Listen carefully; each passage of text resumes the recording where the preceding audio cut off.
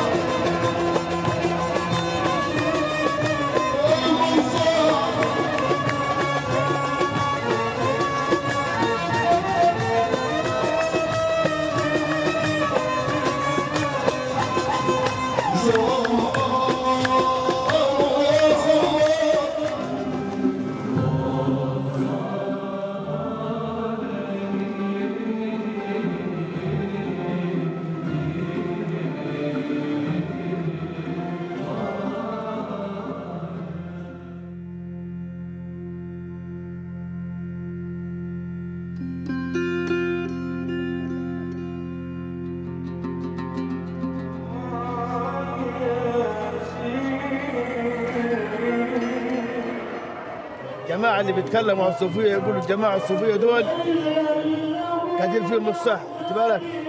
طب هل إحنا نتعاملوا معاهم زي كده ولا نتعاملوا؟ لا إحنا نتعامل معاهم بالخير والواقع.